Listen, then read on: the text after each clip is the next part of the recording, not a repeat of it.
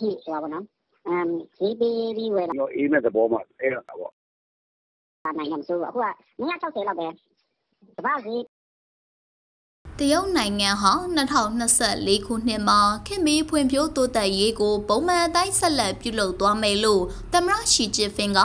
2024နှစ်တည်ကူအတွက်နှစ်ကူဝကျိုးတနင်္ဂနွေနေ့မှာမိန့်ခွန်းပြောကြားခဲ့ပါတယ်။ 2024ခုနှစ်ဟာတရုတ်ပြည်သူသမ္မတနိုင်ငံတည်ထောင်ခြင်း85နှစ်ပြည့်မြောက်မှာဖြစ်ပြီးခန္ဓာပေါင်းစုံမှာတိုးတက်ရေးရဲ့ US အသစ်များချမှတ်ရန်တိုးတက်ရေးဆက်နမူနာအသစ်များချမှတ်ရမှာအရှိန်မြင့်တင်ရန်အရေးအသွေးမြင့်တိုးတက်မှုရှိရန်လုံခြုံရေးရောတိုးတက်ရေးပါ ခိုင်မာတေချာစေရန်လှုံ့ဆော်သွားမှာဖြစ်တယ်လို့ရှီချစ်ဖင်ကဆိုပါတယ်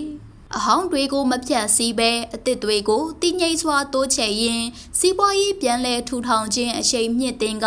စီးပွားရေးရေရှည်တည်တံ့ခိုင်မြဲစေရန်ဆက်လက်ကြိုးပမ်းသွားမယ်လို့ပြောကြားခဲ့ပါတယ်။နိုင်ငံရဲ့ချဖြတ်တန်းမှုများဖွင့်လင်းက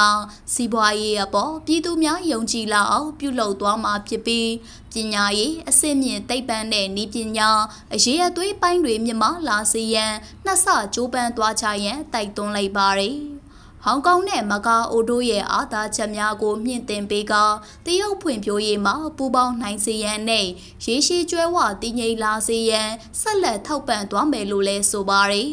။ထိုင်ဝမ်ရေလက်ကြောင့်တစ်ဖက်တစ်ချက်မှာရှိတဲ့တရုတ်အားလုံးပြန်လည်ပေါင်းစည်းရေးအတွက်တူညီတဲ့ရည်ရွယ်ချက်ဖြင့်ရှေ့ဆက်ရန်လည်းပြောကြားသွားပါတယ်။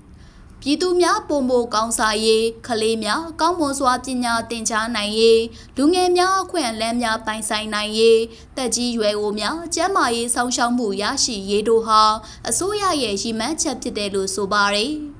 အလုံများပြီးဖိအားများတဲ့လူနေမှုဘဝမှာတက်တောက်တက်တာဖြစ်စေရန်နှွေးထွေးတဲ့အတိုင်းအဝိုင်းဖန်တီးဖို့ကိုလည်းတောင်းဆိုလိုက်ပါတယ်။အချို့နေရာတွေမှာစစ်ပွဲတွေဖြစ်ပွားနေတာနဲ့ပတ်သက်ပြီးလူသားချင်းစာနာတဲ့အနာဂတ်နဲ့ငြိမ်းချမ်းတဲ့ကဘာကြီးဖြစ်လာဖို့နိုင်ငံတကာနဲ့ပူးပေါင်းဆောင်ရွက်သွားရမယ်လို့ပြောပြခဲ့ပါတယ်။